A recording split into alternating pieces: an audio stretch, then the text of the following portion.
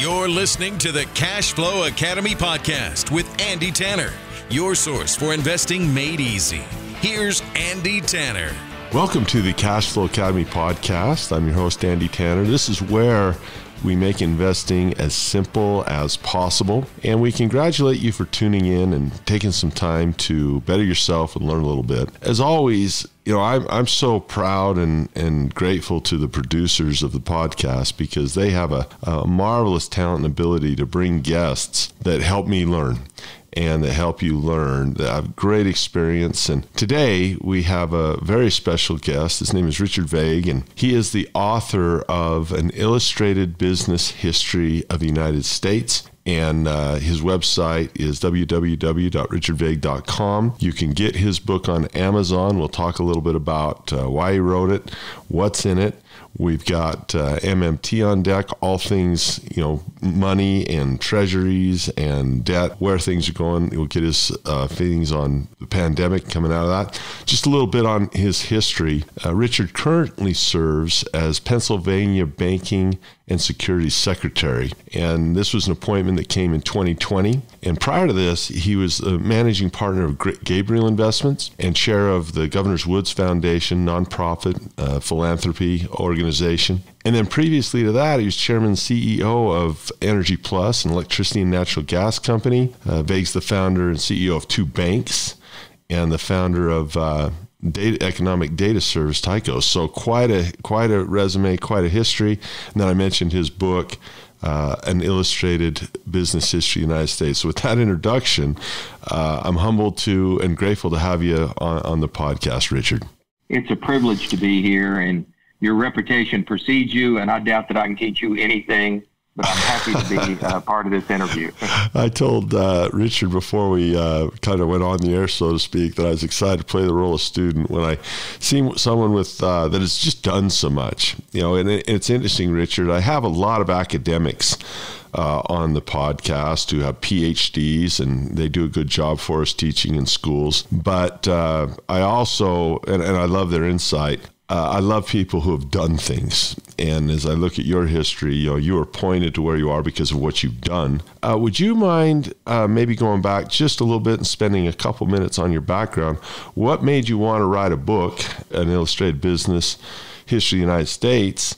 Uh, you've got plenty going on, so why write a book? And then what uh, brought you into the field uh, that got you interested? Well, I've spent most of my career in banking. And like everybody who's listening today and everybody across the country, I was really absorbed in understanding what was going on uh, in the great financial crisis of 2008. Uh, I did a lot of homework around that. And as I was doing that homework, uh, really digging back into history, not only in the United States, but around the world on financial crises that have been happening over the last 200 years, I found out there was not a lot of good business history or, or even comprehensive business records on the United States in the 1800s. And so I set about to rectify that. You know, we have so many military histories, so many political histories, so many social histories. We have very few business histories of the United States. And uh, this business history of our country is critical to understand all the other aspects of our country. And I think this book does that. It's fantastic stuff. I, you know, I, I, I don't know if I'm a nerd or if I'm interested or, or what you'd call me, but I, I'm fascinated with the banking of, uh, you know, the 1800s, uh, in the 1830s, the, I think we overblow maybe some of the wildcat banking, but before we had centralized banking, there was a bit of a wild west. You know, people had some some specie and they just issue notes, and the further away you got from that bank, the the less likely they were to trust the notes. And it was just an interesting time of booms and and uh, bust, and and yet uh, growth as we'd get canals, especially in Michigan and Ohio. You know, and we expanded west. It is an interesting history. So, uh, excited to talk about uh, about all those things. Let's talk about today. So I, I, I'm, you know, I feel like a kid. I, I still feel like I'm learning. I'm 53 years old, so I understand a little, but I've never quite seen the uh, the interplay between uh, our fiscal policy and our monetary policy. To me, is unprecedented. And if we go back to uh, maybe we start with Ben Bernanke and the uh, the subprime meltdown, we became very accommodative uh, on the on the monetary side, and the idea was, well, are we going to wind this? Are we going to wind this? And they never really did. And I thought it was interesting in 2019, before the pandemic, I look at the Fed's balance sheet, and it almost seemed like they made a decision. Uh, just looking at it, where they said, you know, we're not we're not going to unwind. You know, Jerome Powell tried to reload their their ammunition as far as rates went, tried to raise them. Market didn't like it, and I almost feel like even before the pan the pandemic hit, they made a little bit of a of a a change in that they almost said, you know what, we don't need to unwind this. Um, the new normal might just be lower interest rates. And then, of course, when the pandemic hit, it just gave us, I guess, permission to open the floodgates fiscally. And next thing you know, we've got, uh, you know, we, we go from a $4 trillion balance sheet to an $8 trillion balance sheet in a year on the Fed. So here's my question. There, there's every academic I've been able to talk to, and I'm sure there's some that support it. I've asked them this question Is MMT real or is it baloney? And every single one I've found has said it's baloney. I want to find someone who says, Andy, this is why it can work. I, I don't like being dogmatic. There's a lot of dogmatism, Richard. You know, people, oh, this will work or this won't work. And they become uh, more about it's almost religious or political for them.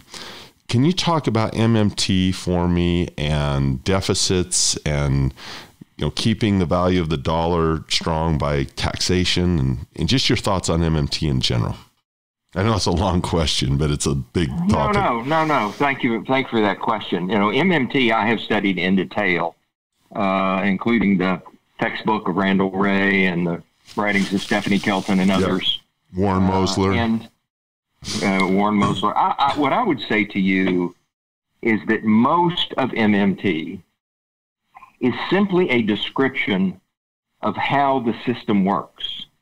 And the basic contention is that U.S. government debt issuance and spending replenishes the reserves and deposits that are required to acquire that debt. So technically, you do, in fact, never run out of money. And you do not have, you know, the, the issue of, you know, having too much debt and not enough deposits to fund that debt. Because if you go through the entries, which I, you know, it's too long to do on this show, but, right. uh, you know, you see it in the Wray's textbook, and I could take folks through that. You do, in fact, money is created at the same moment uh, that funds that debt. So that aspect of it, in my uh, view, is absolutely and technically correct. Then there's the second aspect of it, which is, is that okay? Is that without consequence? And I think the proponents of MMT would say, yes, since you create as much money as you need, uh, it does not have consequence. And I think that's where I would uh, depart a little bit with, with some of the uh, practitioners. M- most folks think that creating more and more government debt and creating more and more of the money supply creates inflation. And that's the risk that we're facing. There's nothing in the records of the United States over the last 200 years or the last two decades uh, or anywhere else in the world that supports that idea. As we look at it with rigor, increasing money supply and increasing government debt really has the opposite consequence. It has the consequence of lower interest rates, which you kind of pointed out in your opening comments. So I think there is a consequence to all this massive government spending it's lower interest rates. And by the way, the consequence of that is significantly increasing inequality within the country, which I think we've seen just in the last 18 to 24 months. So MMT is a technically accurate description of what happens, but the discussion of its consequences is, I think, where I would differ. And I think the consequences are lower interest rates, which are a mixed blessing that hurts a lot of people, that helps some, and it has the further consequence of increasing inequality in the country. Now, this is this is a fat. First of all, this is a wonderful description because when I a lot of the discussions are is MMT going to work? Is it going to work? And I says, well, or are we going to do it? As they'll say, we're going to do it. I says, well, we're already doing it right now. I mean, we've we've kind of been doing it since '71. in different in different levels yep. of aggressiveness. And you point out something really important that I, I'd like to just reiterate for the listeners. So if I have a family or business the management of debt uh, for me is very important. I don't want to get underwater. I don't want to be insolvent. I definitely can't run at a deficit for very long. You go from solvency to insolvency to bankruptcy. It's usually the, you know, the trifecta. But but Warren Mosler, who's a big voice in this, was a bond trader, and he made the comment with sovereign bonds. He says, "Look, your, your bond isn't going to go defunct. You can always print money to pay them off." And that was kind of the beginning of his uh, thrust into the idea that for governments, their their issue isn't like the rest of us. It's it's inflation they're trying to manage. It's not the amount of debt that hurts them like it would be you and me. Deficit can grow in per- perpetuity, but like you said, the consequence of inflation and where I've sort of departed is that that's I've actually agreed with you that yeah, that's what they're doing, but that's not as easy to manage maybe as uh, as they think. So when you talk about the pressure on interest rates uh, and the consequences of uh, of this, as I look at deflation and inflation, I don't, and maybe you can correct me or give some insight on inflation and deflation. I don't see it as as oh we have a period of inflation or we have a period of, of deflation. I see it more as an arm wrestle if I print massive amounts of money and I have interest rates close to zero, if I don't see inflation, to me, that doesn't necessarily mean, oh, it's working. To me, it means, well, that's because that's being counteracted with huge deflationary pressures technology, globalization, uh, you know, in this case, a pandemic. Is that a correct way to see that? That if we're pumping the balloon up with tons of money and it doesn't expand, is simply because the outside pressure is also increasing, that the deflationary forces keep it down um, because there's a, you know, if we didn't do this, prices might just plummet. True or or am I am I off? Teach me. Well, well, I think def- the deflationary forces in our economy have been greater than the inflationary forces, and so I think you're exactly right in that respect. But I want to just uh, add a couple other things we do, we do not see. We've studied 47 countries over you know 70 years where the data was available, and we don't see a correlation between growth in money supply and inflation. I think that's a red herring. That that's a uh, huge uh, statement. You, it's a, it, but it, but it's an easily uh, check, checkable thing. Mm-hmm. The data's there. We've got all the inflation records. We've got all the money supply, and you know we have it on our uh, one of our websites. You can go do the, this. Is an analysis you can do at home. Go find periods of high monetary growth and see if inflation followed or did not follow. We've got 47 countries, the OECD reporting countries, and I'm telling you, we've done that analysis, you know, a dozen different ways, and that correlation doesn't exist. I can um, think of two. Maybe right off the okay. bat, we could talk about two. One of the measures, if a person wants to study this, you might study debt to GDP. That's an interesting ratio. And in uh, in the United States, uh, you could go to a war. You could go to World War II, and our debt to GDP got to probably like some 150. And when that war was finished, we had massive prosperity. It was a huge thing. And then the ones people I'd like you to comment on is people point to Japan a lot, where their debt to GDP has probably been around 250 for about 10 years and they have not had inflation and they've had massive uh, debt and printing of money. So I can think of those two examples. Is that close to what I'll find in the other countries?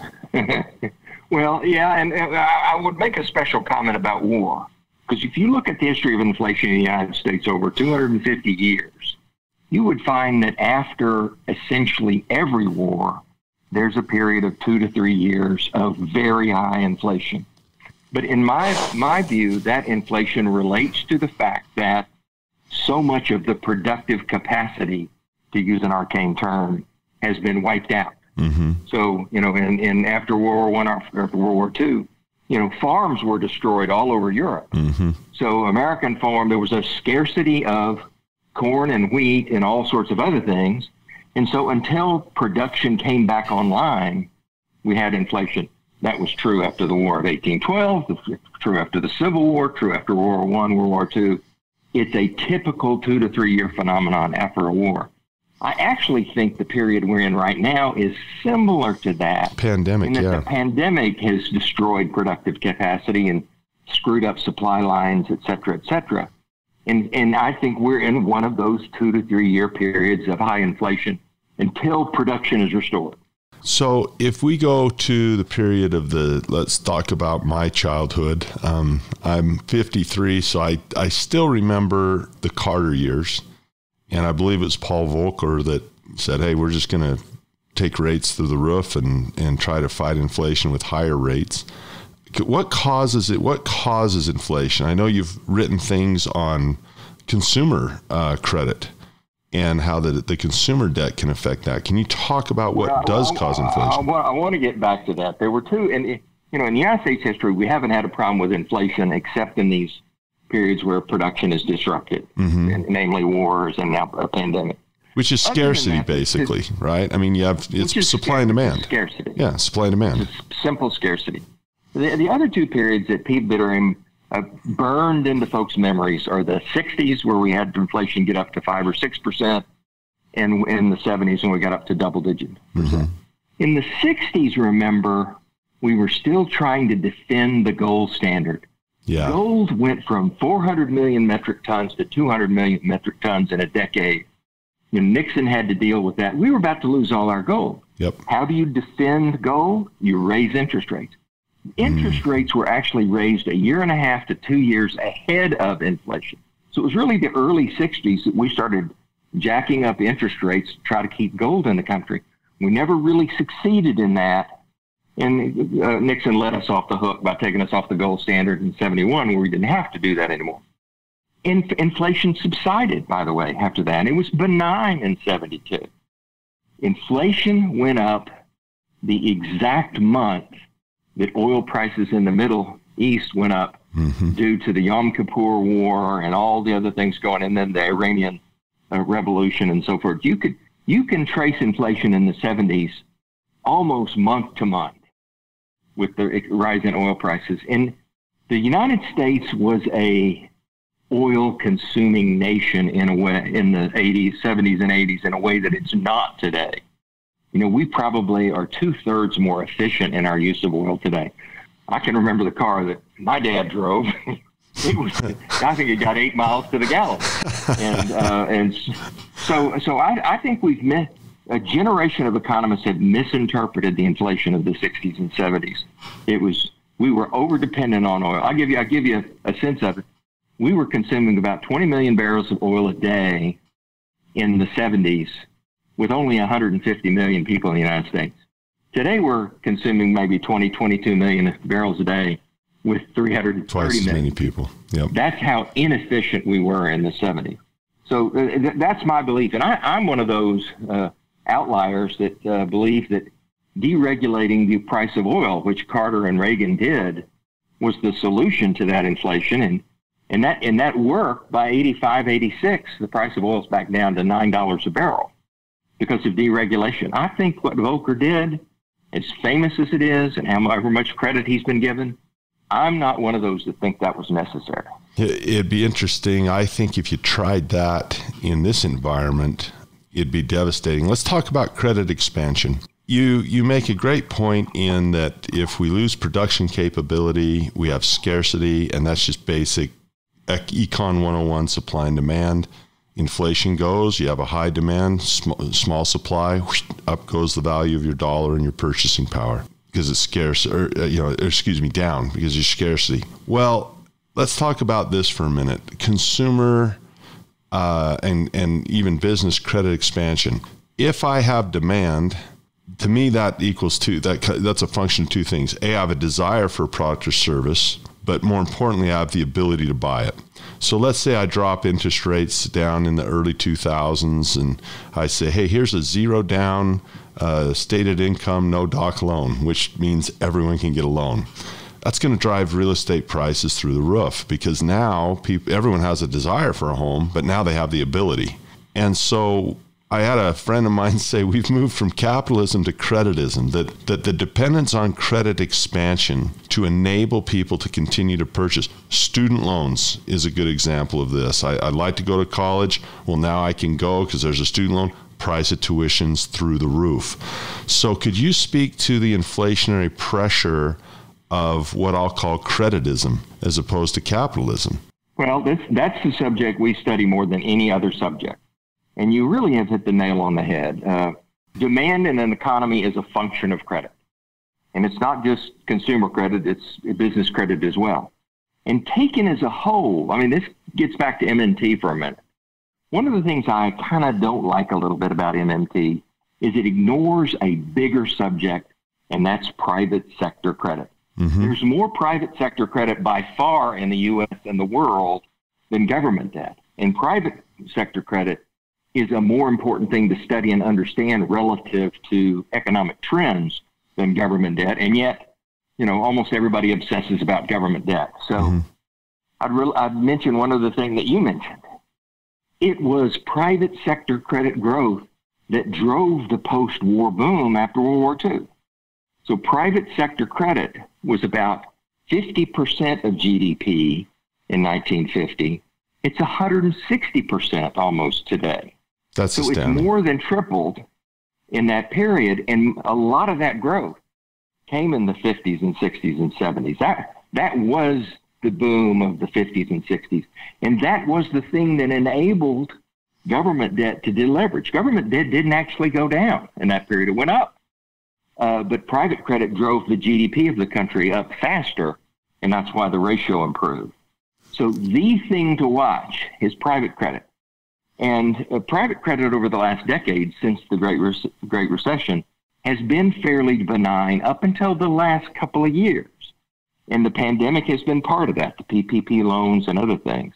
So after a benign decade, we're, fi- we're starting to see uh, robust growth there, which is fine for the moment.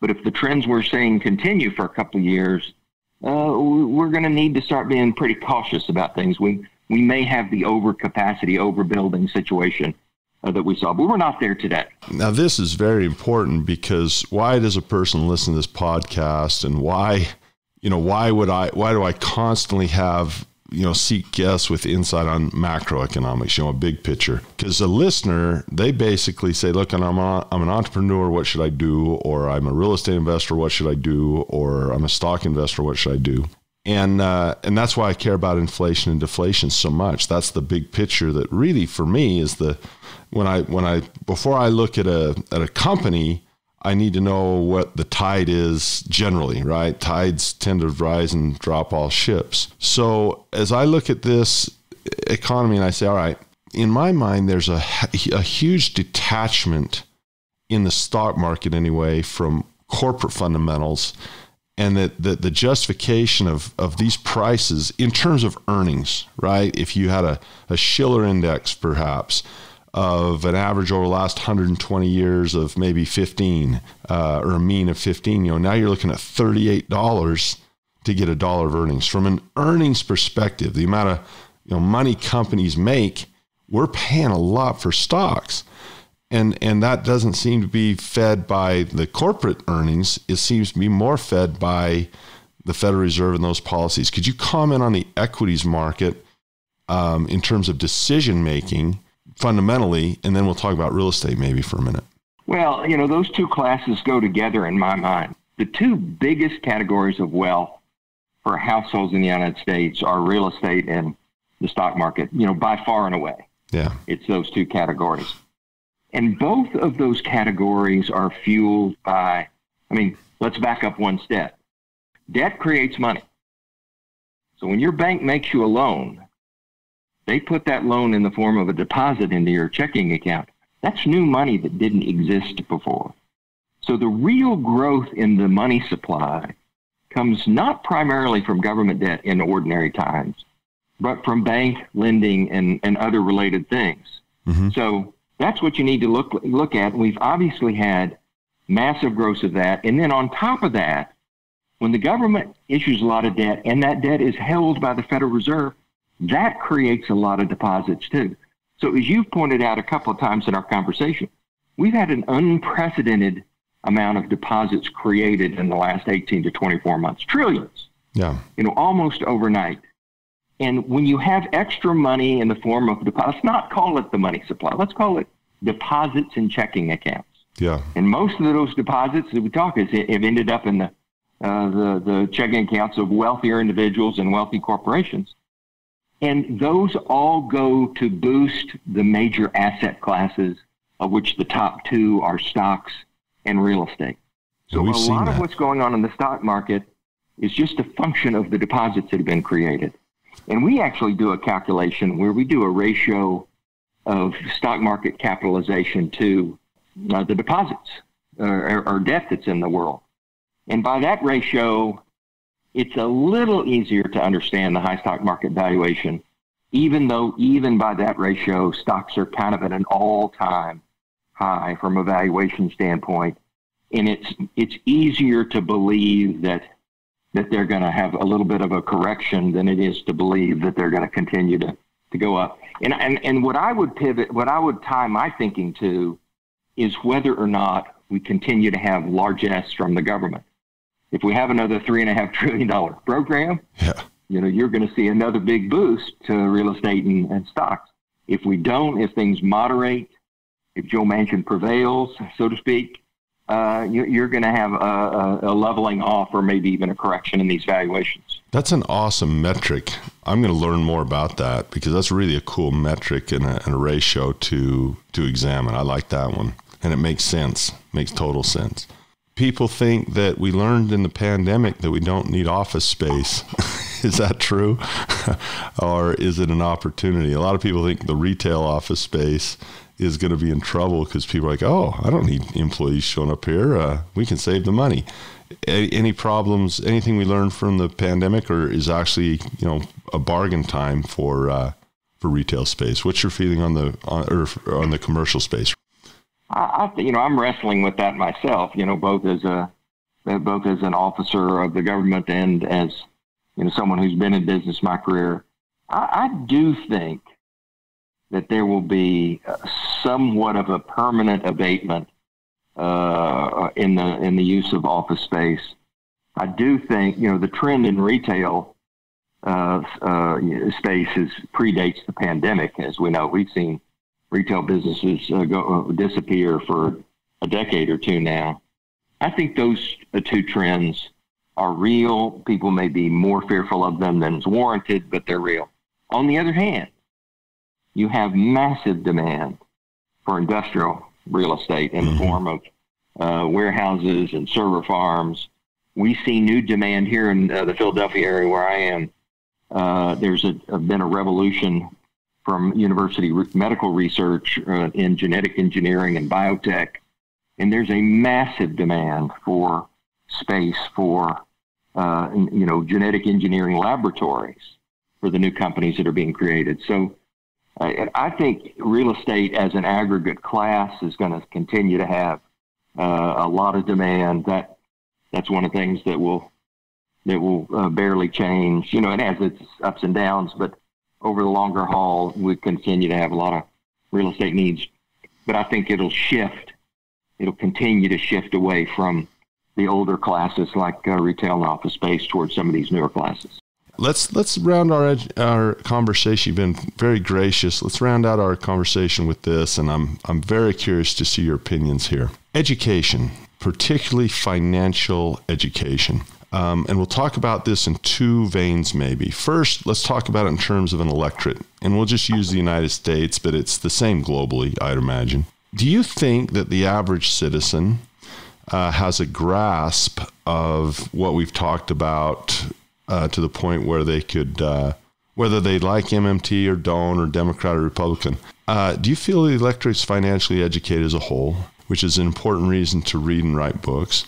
And then I'll I'll throw the second question on top of it, and you can take them both. You mentioned there's a there's a wealth gap of the has and have-nots, a tremendous amount of inequality. Obviously, if you have stocks, um, the rich are going to get richer, and if you have a savings account, uh, those those are going to diminish as the interest rates get lower. And so that's part of that disparity. That's not healthy, in my opinion. But what role does education play in that in terms of financial education? Is wealth a function of what we learn? And uh, maybe take those two questions. What are your thoughts on financial education? And that's a good way for me to say, go buy his book. well, you're kind to say that, and I'd be grateful for anybody. I think I think it's a you know I, I, I use the word fun. This is a book that you can you know you don't have to read the thing cover to cover. If you're interested in the 1960s, you can read that. If you're interested in the 1830s, you can read that. It's it's illustrated it's 300 illustrations, so it's it's an enjoyable thing to read. But relative to your question, you know, I think uh, education is always a challenge. Uh, I think uh, folks all need more financial education, but I would caution there in that you know we need to accompany that with a lot of common sense. A lot of the uh, you know, and your show I think is uh, typical of this. You're you're educating people on things that are very important to know uh, infused with common sense, uh, very practical, very useful. A lot of education out there is people trying to sell you unnecessarily exotic things. Mm-hmm. And so, you know, I, I would I, I, would temper your quest for education with a dose of realism and practicality. You know, a lot of the best investments you you will make will be the most straight ahead and most plain investments. Uh, and then, as it really, you know, you need to take care of your money uh, in, in that common sense way. But, you know, if, if you're talking about gaining wealth, a lot of time that wealth is, or that education should relate more to your professional expertise and your ability to get ahead in your own profession. Uh, uh, you know, whether it's you're uh, in a profession or starting a business or, or what have you, uh, learning more and being the best in your space is probably the best way to accumulate uh, the earnings that supply those uh, stock and real estate investments. Boy, I appreciate the comments on common sense. I have two sons, 15 and 13 right now, and uh, they're they're interested in money and investing. And so we, you know, YouTube is tracking what we look for, and we get advertisements that just drive me nuts. You know, someone will say, "Oh, we made forty thousand dollars in three weeks without doing any work and work at home," and or you know, we picked winners, you know, eighty-seven weeks in a row. And and I said, "Son, I've never done any of that. I would never teach my sons." Uh, that, that you get money without working hard. And I certainly would, I, you know, I teach my sons compounding. And I said, son, that takes time. It just takes time. And to your point of common sense, you know, you can invest like Warren Buffett. Obviously, his genius is there, but I think often his genius overshadows his temperament. And uh, and it's not just the financial education you have; it's the temperament of consistency and not letting the. I have a the, the phrase I give my kids, I go, son, always be bigger than your money. And what that means is don't let your money make you do stupid stuff. Um, always be bigger than the greed or bigger than the fear, bigger than your money. Um, so I appreciate not only the comment on education, but the practicality of common sense because a person's demeanor, habits are as big as, as what they learn. We've been speaking uh, and had the pleasure of learning from Richard Vague his book, once again, is an illustrated business history of the United States. And I, I think about his, his, listen to his conversation. You know, he has an energy background from energy companies, started two banks. And so to, to hear from someone with, you know, practicality in practice that has been out there doing this, uh, I'm just excited to recommend uh, the book. And a history is critical. I wrote a book on 401ks and you know, learning how they came about and learning the legislation, how that morphed, and we our retirement became a function of the balance sheet instead of the income statement, just like that. You know, we went from pensions, which is a profit and loss function, to a 401k, which is a balance sheet function. People didn't even see it. So understanding history is a big part of your com- uh, of your financial education. His website is www richardvague.com. Uh, any final comments to the person who is new to investing, new to entrepreneurship, and uh, you know, wants to dive in? Any counsel for them as we part? Uh, my most important recommendation to them is to listen to your show. You're too kind. oh, that's funny. But in in reality, is it a good time to start a business? Is it not a good time to start a business? Is is it uh, I think it's the best time ever to hop in. I, I think I think there's more yeah. opportunity than ever myself. Yeah, I mean you see that again and again. Some of the many of the great businesses uh, in our country started in times of duress. So yep. uh, you know it has more to you having your ear to ground into what the real needs are in the business you're trying to launch and meeting those needs and uh, you know, more power to anyone who does that. But we all thank you for your time. I hope you've enjoyed our conversation. Uh, take it to heart and uh, pick up a copy of an illustrated business history of the United States, and we'll see you next time. You've been listening to the Cashflow Academy podcast with Andy Tanner. For more information on investing made easy, go to thecashflowacademy.com.